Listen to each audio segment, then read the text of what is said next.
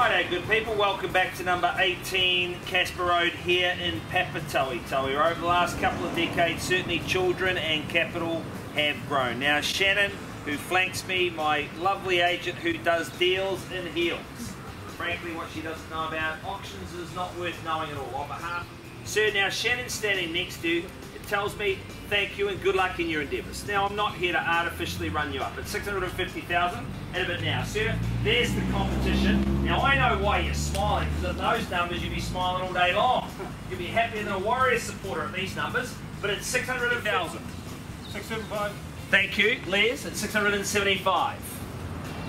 Sir, would you put up the fellow at 700 he does? At 700, triple O, sir, will you go again? Of course. You'd like to bid me 725, and he obliges. Thank you, at 725. Puts three in, and that's a good sign. See, you have to fight for good profit. Lovely to see the kids are here sorting out their inheritance. That's smart, too. I like that. Trace the money at 725.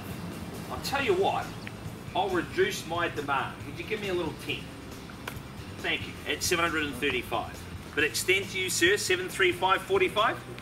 745 at 745 at a bit. Okay, just square the ledger then at 800. What do you say? Les, what's your man over here doing? He's on the phone to the missus. Third second, third call. What do you say? Another 10. Sir, we're going to have a conversation.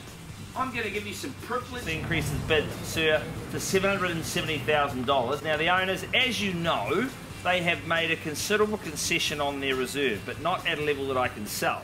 But it's 770, 775. Now, sir, at least you know what will buy the property, right? So you're not disadvantaged, but I'm going to sell it to him in the next 15 minutes. What?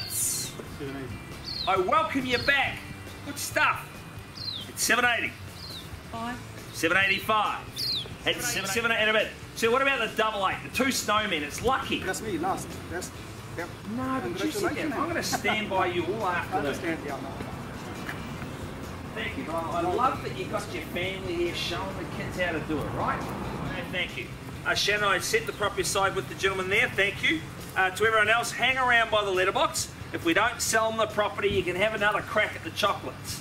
Uh, that concludes the auction. Thank you very much for your time. After 20 minutes of negotiating with the highest bidder, Shannon has sold number 18 Casper Road for $810,000. So if you want to get the same result, list and sell with Shannon from Harcourts.